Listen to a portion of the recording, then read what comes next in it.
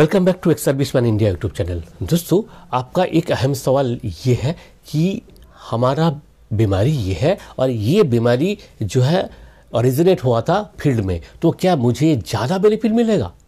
देखिए, बीमारी चाहे आपका पीस में ओरिजिनेट हुआ हो या फ़ील्ड में, उससे कोई फ़र्क नहीं पड़ता है। फ़र्क पड़ता है कि आपका बीमारी का जो कारण लिखा हुआ है, कैसे उत्पन्न हुआ? वो आपका मेडिकल बोर्ड का जो पेपर है, उसमें लिखा होना चाहिए either attributable to military service और एग्रीबेटेड बाय मिलिट्री सर्विस और बोथ यानी कि आपका बीमारी फौज का सर्विस के वजह से हुआ है और फौज का सर्विस का दौरान हुआ है। इन दोनों में से एक या फिर दोनों ही आपके लिए एप्लीकेबल होना चाहिए, तभी आपको डिसेबिलिटी पेंशन मिलेगा। आपका जो बीमारी कौन सा है, उससे डिसेबिलिटी पेंशन का ऊपर कोई इफ़ेक्ट नहीं है, चाहे कोई भी बीमारी हो। एक मान लीजिए बिल्कुल चल नहीं पा रहा है, और एक थोड़ा सा उनको एस्थमा का प्रॉब्लम है, दोनों का ही थर्टी परसेंट डिसेबिलिटी है तो दोनों को ही बराबर डिसेबिलिटी पेंशन मिलेगा।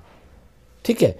एक मान लीजिए पी स्टेशन में बॉम्बे में जिनका कैटेगरी हुआ है, और एक बारामूला में जाके कैटेगरी हुआ है, या कारगिल में जाके कैटेगरी हुआ है तो ये दोनों को बराबर बेनिफिट मिलेगा। कोई अलग बेनिफिट नहीं मिलता है। हाँ एक है वार इंजुरी पेंशन अगर आप बैटल कैजुअलिटी होते हैं, उस केस में आप ऑपरेशन के दौरान आपको इंजुरी हो चुका है तो उस केस में आपको वार इंजुरी पेंशन मिलता है। अदरवाइज़ फ़ील्ड में जो कैटेगरी हुआ है और पीस में जो कैटेगरी हुआ है, ये दोनों में कोई फ़र्क नहीं है। कोई फ़र्क नहीं है। ठीक है? तो इस बारे में अगर आपको कोई सवाल है तो आप डिस्क्रिप्शन बॉक्स में दे सकते हैं। और इसका रिलेटेड जो आर्टिकल्स है, वो हमारा जो वेबसाइट है E S M info club dot com वहाँ जाके आप पढ़ भी सकते हैं। ठीक है? नमस्कार, फिर मिलेंगे अगले वीडियो में।